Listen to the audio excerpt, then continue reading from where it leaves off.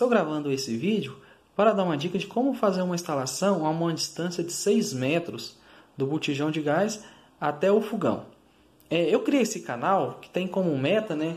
É, muitas das vezes, quando a gente está em casa, surge algo para consertar ou mesmo para fazer. Vem em mente que é difícil consertar ou é fazer, né? Muitas das vezes são coisas simples que se torna complicado achar um local que conserte. O tempo que vai levar para ficar pronto e muitas das vezes esse conserto é quase o preço do objeto. Mas quando tenta e dá certo, percebe que foi muito satisfatório tentar e conseguir. Então sim, se vocês têm gostado dos vídeos, né?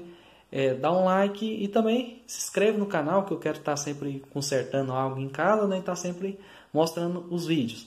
É, eu não sou profissional, não sou pedreiro, né? Realmente eu tenho sempre a curiosidade de estar consertando, né? É muito bom quando funciona o conserto, né? É, e uma, continuando aqui o vídeo, né? Em um momento anterior eu tinha feito essa mesma instalação através de um tubo de cobre. Então assim, após cinco meses de utilização, né? É, eu tinha colocado interno dentro da parede, né? É, e agora eu vou fazer em definitivo fazer a pintura da parede. Estava apenas no reboco. E achei interessante fazer a substituição, trocar, né? Então assim, eu andei pesquisando, né? Ele é bem interessante me deu um trabalho para achar. É, foi mais ou menos vários locais ligando, né? É, um, principalmente em loja de tubos e conexões. É, até que eu consegui encontrar em Goiânia. É, o local fica de frente ao Terminal Isidória, né? A loja chama Comercial Lança Chamas, né? Que é mais é para materiais, é, venda de panela, mais da área de, de fogão mesmo. Então, assim, é, esse cano, essa tubulação chama com o nome PEX então, assim, vi que é um, aqui um pedaço, né? São compostos três camadas, né? Tem o polietileno é, interno, é, no meio tem o alumínio e o externo novamente tem polietileno, né?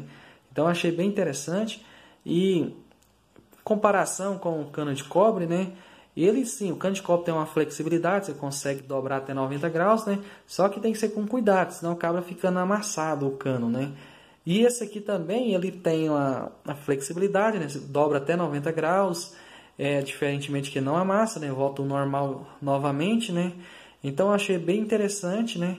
E já também as conexões também achei bem interessante. Já comprei, já já vem toda pronta, né? Ficou bem mais barato que o cano de cobre, né? Também mais leve.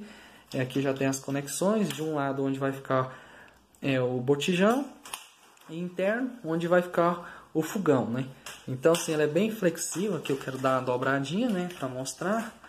Aí, ó, bem dobrado.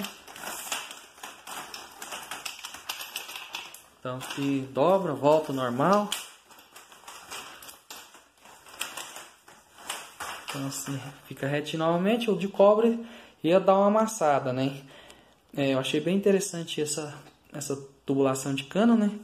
É, e aqui agora eu vou fazer já a instalação já completa, né, e já vou estar tá mostrando como ficou completa a instalação. Então, sim, espero que todos curtem né, esse vídeo, é muito interessante né, e é mais em conta. É, nesse momento já estou mostrando aqui o fogão, cooktop, e aqui já a mangueira já instalada já, como que ficou do lado de dentro, né? Aqui tem o registro que fecha geral, né? Aqui. Nesse momento aqui do vídeo, né? É onde vai ficar o lado externo da mangueira, né? Aqui eu ainda não cobri, só para estar tá gravando para mostrar. Aqui nesse primeiro momento, é, o cano fez mais ou menos uma curva de 90 graus. É, e vai seguindo até chegar o botijão. Aqui mais outra vez uma curva de 90 graus. E vai até chegar ao botijão de gás, viu? Aqui onde fica o botijão de gás, a instalação, né? É, conforme pode ver aqui, eu coloquei ele todo na mangueira corrugada só para uma proteção a mais, além da mangueira com essa mangueira corrugada. É, nesse momento final eu já estou gravando aqui no lado externo, né, onde passa toda a encanação né, de gás. Aqui já está tudo coberto, cobri com massa de cimento já, né, aqui já segue né, até chegar até o botijão de gás, já tudo instalado. Aqui, aqui a forma onde ficou o botijão de gás, eu fiz aqui uma casinha, né, coloquei cerâmica em volta. É, aqui, né? Aqui ao lado do botijão de gás fica com registro, né?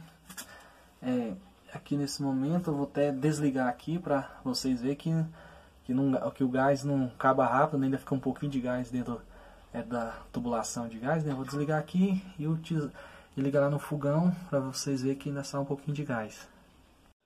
É, nesse momento final do vídeo, aqui do lado interno, onde fica o fogão, é, conforme eu mostrei lá fora, né, tem um registro onde fica o botijão de gás. E aqui do lado de dentro também é, tem um registro, ao lado do fogão cooktop.